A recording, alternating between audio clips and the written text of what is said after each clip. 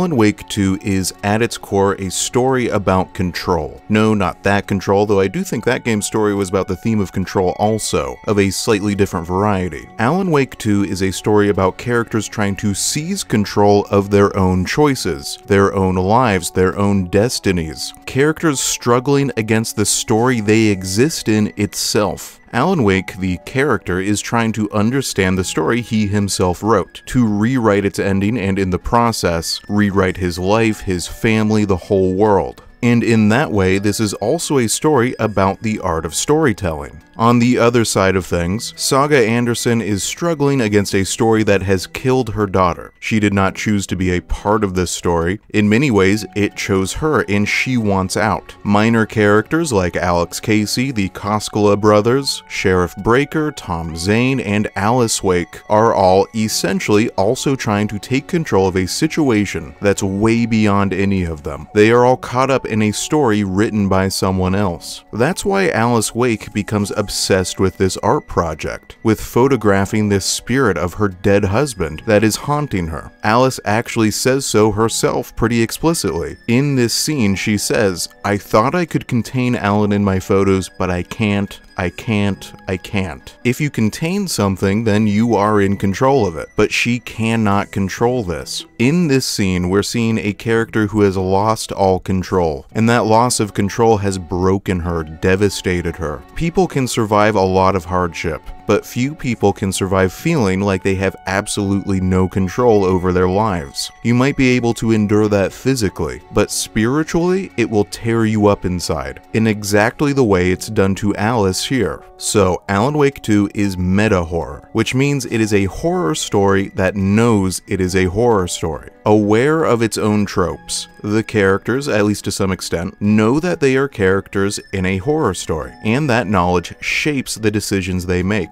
There are moments in this game when the characters say some version of, because this is a horror story, that means we have to do this, we have to behave that way. Our choices have to match the genre of story we are trapped within. That's why the ending has to play out the way it does. It has to be violent. Someone has to be killed. But we are getting a little ahead of ourselves here. I believe that most horror stories are actually about the theme of control, not just this one. I suspect that lack of control is the true essence of horror. These stories resonate with us because loss of control is a fear that literally all humans everywhere share, and there is no more visceral, more extreme example of loss of control than being stalked, being hunted, being captured, being murdered. If someone kills you, they are, in some sense, taking control of your life taking control of your entire future. So let's start our analysis with Saga Anderson's side of the story, because hers is much more straightforward and easier to understand than Alan's. His story is a big, confusing, convoluted, looping, spiraling nightmare, but we'll unravel it the best we can later in the video. First, Saga Anderson.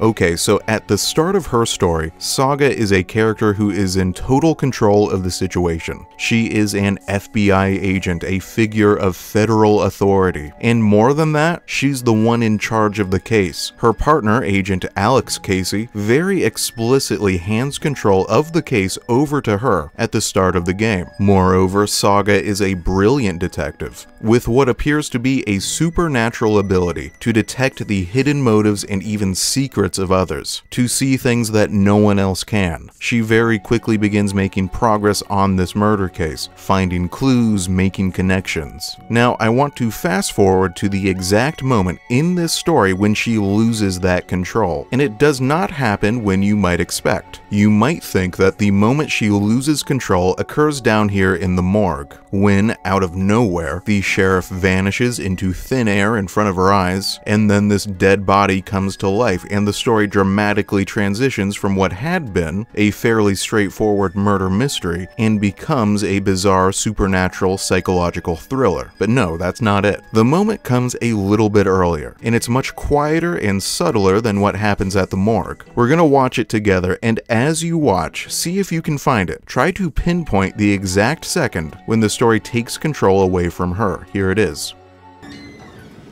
Thanks. This could prove to be helpful. Do me a favor. Stick around town for now in case we have any more questions. Like we'd even dream of missing dear Oh, God. Saga! Saga Anderson, as I live and breathe. I thought we'd never see you back here after that awful, awful thing happened to your baby girl. How are you? Um, I'm sorry. Who are you? I don't know what you're talking about. It's me, silly. Rose. You know me. I don't think I do. And what horrible thing happened to my baby girl? She drowned. Your daughter. That's so weird you don't remember. How do you know I have a daughter? Oh, I know what this is. You're blocking out your traumatic memories. Happens on TV all the time. No. You're mistaking me for someone else. If you say so.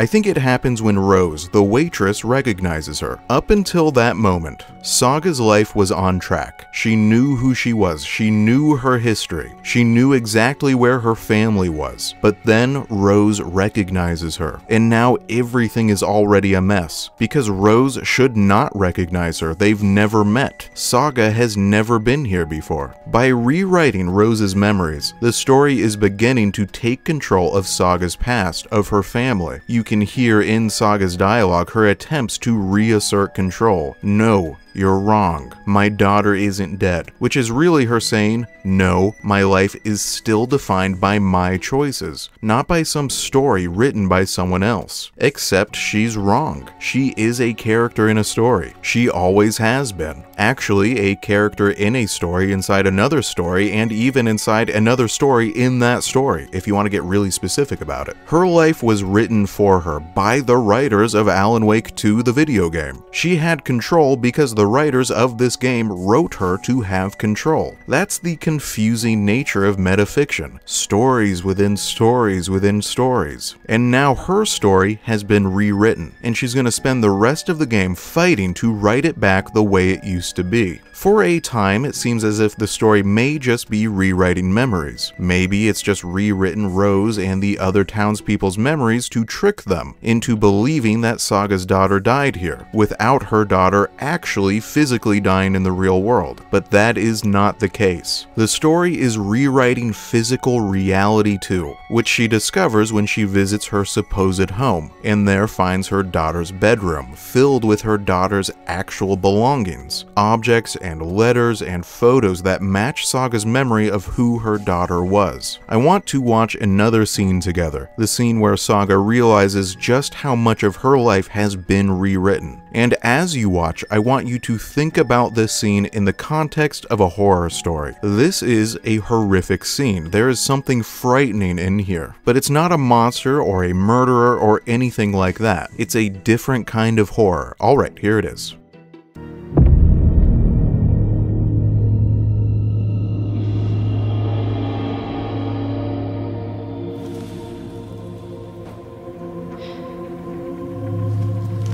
No.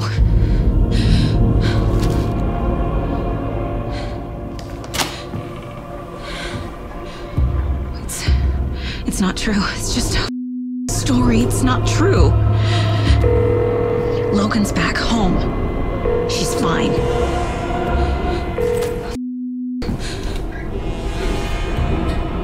Hey, this is David.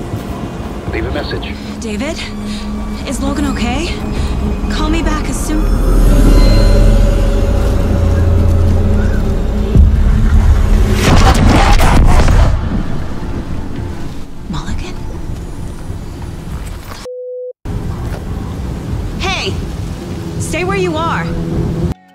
Okay, so the horror here is a loss of control. The horror stems from the story itself, from being trapped inside a story that is deciding your life for you, and not just your life, but the lives of those you love, existing in a story where, at the mere stroke of a keyboard, the whim of some distant, uncaring author, the lives of people you care about can be destroyed in an instant. Your child can be killed for no reason other than to fit a narrative theme, to match the tropes of the genre, to meet the expectations of the audience. That is horror. And you can hear it in the panic in Saga's voice. That's the same kind of panic you might hear from a character who's just realized that the killer is already inside the house, that they are no longer safe. Saga attempts to reassert control by calling her husband, by making sure that her remembered version of reality is the correct one. And notice the way the story very deliberately and obviously distracts her, how it pulls her away, drags her back down into the convoluted plot threads. When she sees the taken police officer, she stops what she was doing, plunges deeper into the currents of the story, gets lost in them for the next several hours. She tries to reassert control again later, but each time, she only falls deeper and deeper into the confused plot lines of the story. She tries to rescue Alan Wake from the dark place so he can fix this mess he's made, but this actually just sets the whole terrible story into motion. Because when she summons Alan, she actually summons the dark presence which has consumed him. She is the one who revived the nightmare. She's trying to stop the story, but instead her decisions are exactly what makes the story come true in the first place. Yes. So, what is the solution here? How can a character overcome the story they're in? How can a character overcome their reality? It feels impossible. And towards the end of the game, after she has failed over and over again, and she can't withstand any more failure, Saga not only loses control of the story, but she loses control of herself too, of her fears, her anxieties, her doubts. She lets those negative feelings overwhelm her. And I want to watch that scene too, and in this scene, Saga will also find a way to finally take back control. Here it is.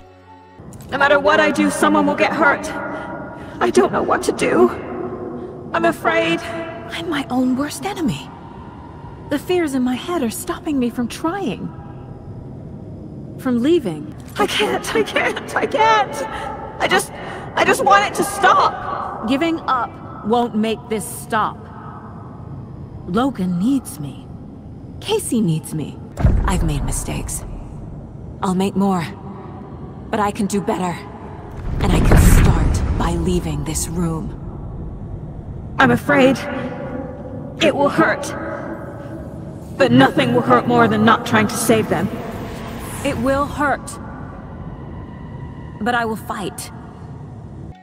It's a common truism that you cannot control what other people do, but you can control what you do, your choices, how you react and respond to what's happening around you. This is what Saga must realize in order to take control back from the story. The first step is to control herself. She has to wrangle her anxieties and fears and doubts into submission. And the way to do that is by confronting them head on, openly, honestly. For the entire story up to this point, she's been ignoring her doubts, just kept charging ahead instead of facing them. She has not confronted her fear over whether her daughter might actually be dead. And if so, her fear that her daughter's death might be her fault. Instead, she just keeps saying, No, my daughter's not dead, over and over again, as if saying so will make it true. Even if those fears aren't rational, they need to be confronted. Otherwise, they'll be left to metastasize inside her, to fester, to rot her psyche from the inside out, in exactly the way that it is done. Finally, here at the end, in this scene, she realizes that she needs to confront those fears first. And in doing so, she can get control of herself. And now that she's in control of herself, she can figure out how to get some control over her situation. It's very important to note, though, that we never learn whether her attempts to reassert control are successful, but I will discuss the ending more at the end of the video.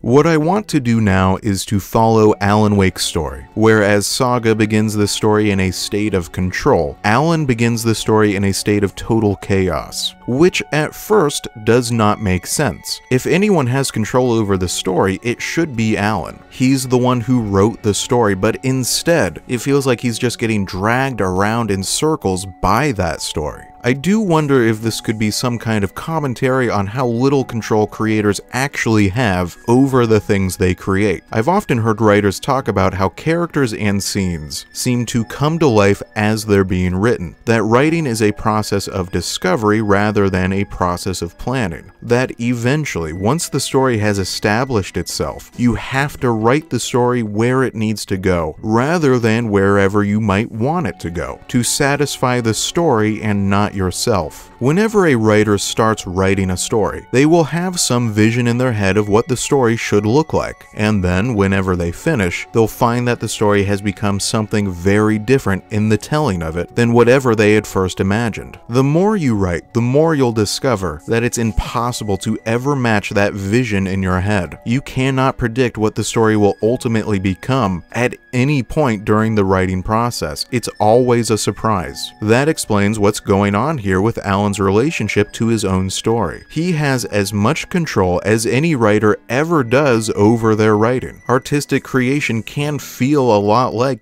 getting dragged around by a supernatural force which you can't fully understand. The gameplay of Alan Wake 2 has actually replicated the creative process in a really fascinating way. I want to talk a little bit about the musical section here. I think most people see that and they just think, oh wow, this story is so wacky, so crazy. But there is meaning within that rock opera. It has a narrative reason to exist. Let's watch a very short clip, and as you listen, I want you to pay really close attention attention to what Alan says right before the musical starts. See if you can hear anything familiar. Here it is.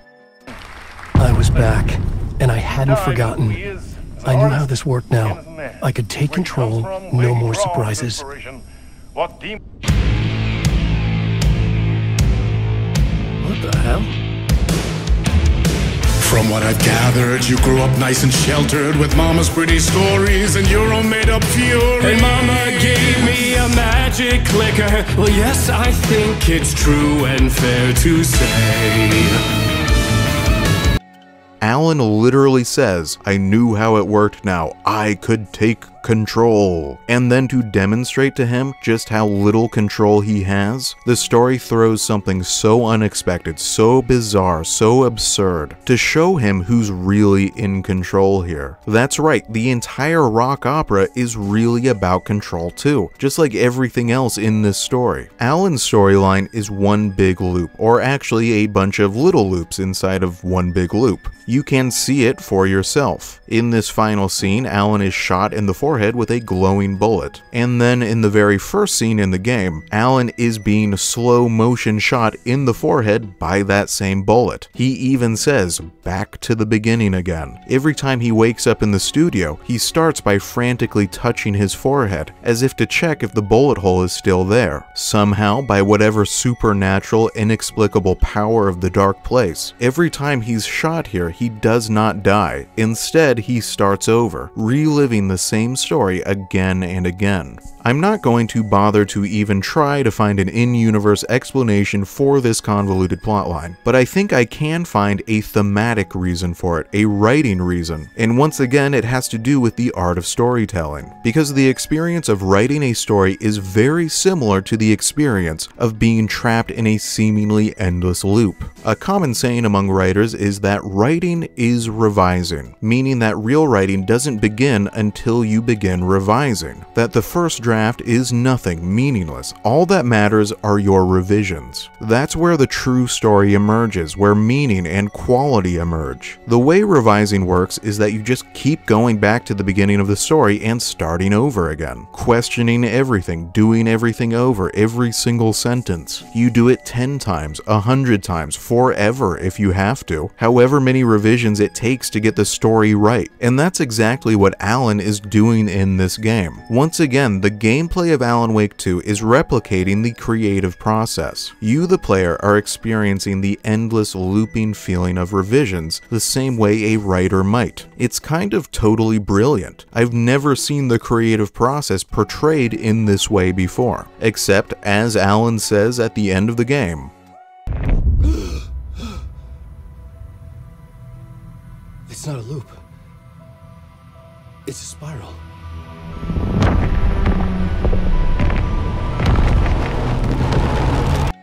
Okay, so what the heck does that mean? Well, very simply, a loop is a closed circle. It always circles back to the exact same place it started. A spiral, on the other hand, moves either up or down as it circles. A spiral is going somewhere, leading to someplace new, which once again matches the creative process. As a writer, when you're stuck in the muddy trenches of revision number 55, it can certainly feel like you are trapped in an endless loop of revisions that are never going to lead anywhere. But that is not true. Eventually, those revisions are going to lead to the completion of the story. The suggestion here is that eventually, you know, maybe in another 13 years, the story of Alan Wake is going to be finished too. These loops are not just loops, they are leading somewhere. But let's rewind here a bit. In my analysis of Saga's storyline, I started with the exact moment in the story when she lost control. I want to do the same thing for Alan. His moment of lost control occurs much later in the story than Saga's. Or, I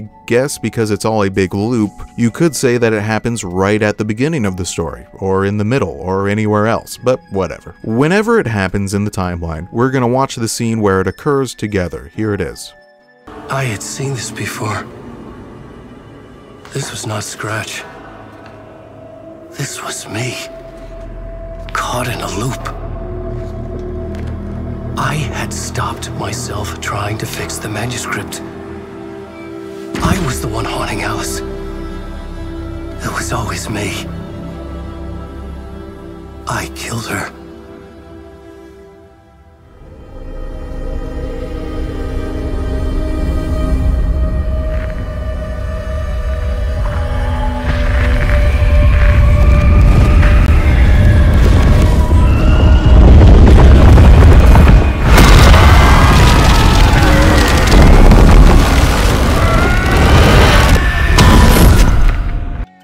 I don't think it's until he learns of his wife's supposed suicide that Alan truly loses control. Of course, it's pretty obvious from those pictures that she actually leaped into Cauldron Lake, and thus into the dark place, the same place he is trapped in. But I think we can forgive him for not thinking straight here. Worse, he believes that he himself is responsible for her death. Each time he enters the dark place version of his apartment, these cameras flash. These cameras were set up by Alice in the real world to capture the image of Alan, whose spirit is somehow bleeding into the real world in this spot. In his constant loops, Alan keeps going back to the apartment. We watch him return there over and over again, and each time, apparently, his wife can feel it, sense it, see him. He is literally a ghost haunting her, and we, the player, participate in this haunting. We bring Alan here again and again. It drives her crazy. She becomes obsessed with trying to control this haunting through her art, and when that doesn't work, she tries something more drastic drastic. She leaps into Cauldron Lake. Believing her dead, it's in his rage and despair that Alan allows the dark presence to control him, that he transforms into his villainous double, Mr. Scratch. I think the way the dark presence and Mr. Scratch are depicted has changed between games. In the first game, the dark presence behaved like a pretty standard horror story villain. It was essentially an evil monster or supernatural malevolent entity that manipulated and destroyed people in its quest for escape.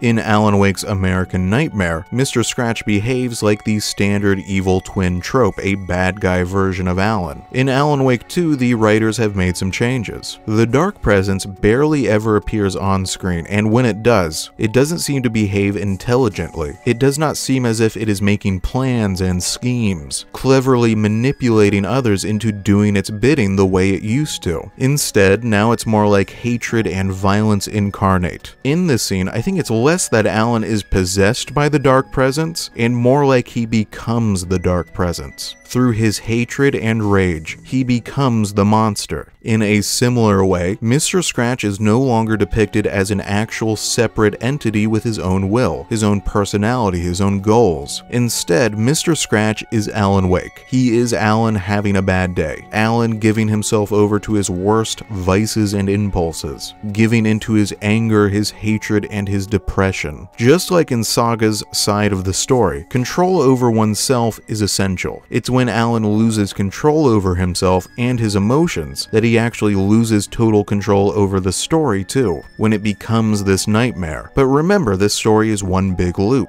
So even though it's not until now that Alan loses control, we experience that nightmare from the very beginning of the game, because things that happen in the future of a loop actually happen in the past too, and vice versa. Anyway, after losing control of himself, Alan writes a twisted and evil new story titled Return, a story with the potential to change the entire world. We actually see what kind of world he would create at the end of the game, and it's not quite as nightmarish as you might expect, it's actually a little goofy. At the end of the game, we explore a reality in which everyone is obsessed with Alan Wake's novels. Everyone talks about him, praises him, a world where he is essentially a god and his novels a new religious text. I think this world makes a lot of sense. Alan Wake is a writer, and so of course he's going to create a world where he gets the thing that writers want most. And what do writers want? Well, they want most of all to be read. They want their writing to be appreciated, complimented, praised. And that's exactly what we see here. A world where Alan Wake's novel is appreciated, complimented, and praised. Endlessly, infinitely. Alright, moving on. So when, if ever, does Alan manage to reassert control over his own story? Let's watch the scene where it happens. Here it is.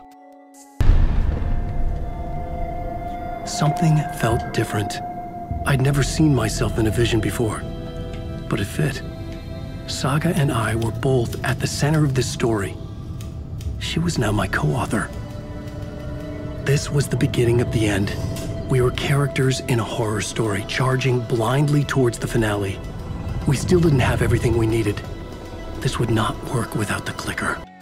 This is Alan regaining control of his story. And how does he do it? Well, of course he does it through revision. The process of revision is how writers take control of their stories. When a story has gotten too big, too bloated, too complicated, too convoluted, become something you don't want it to be, become unmanageable, a writer can fix it through revision by cutting and adding, by changing the conclusion. Once again, the storyline of Alan Wake 2 is replicating the writing process, and it's really important that he only manages this revision with Saga's help. Writers are often depicted as lonely people, solitary, locked in a room by themselves, tapping away at their keyboard, but that is not how successful writing usually works. All writers know the value of editors, of peers, of friends willing to read your work of having a community of fellow writers who can provide feedback and criticism. Most truly great stories were not written by one writer alone. Most of them were written with the assistance of an entire community of people in the background. Writing is a communal process, which is reflected in Alan and Saga having to work together to come up with the right ending to the story. Finally, we need to talk about that ending. I've seen a lot of people describe this game's ending as unsatisfying. It's pretty clearly meant to be the second part in a trilogy, so it can seem as if none of the major plot threads have been decisively concluded. For example, we never find out if Saga actually saved her daughter's life, and Alan Wake is still trapped inside the dark place, and not just him, but like a dozen other people too. Alice Wake, Saga Anderson, Tor and Odin Anderson, Alex Casey, Sheriff Breaker, Tom Zane, Warlin Door. The population of the Dark Place has quadrupled in this game, and none of these characters have any obvious means of escape.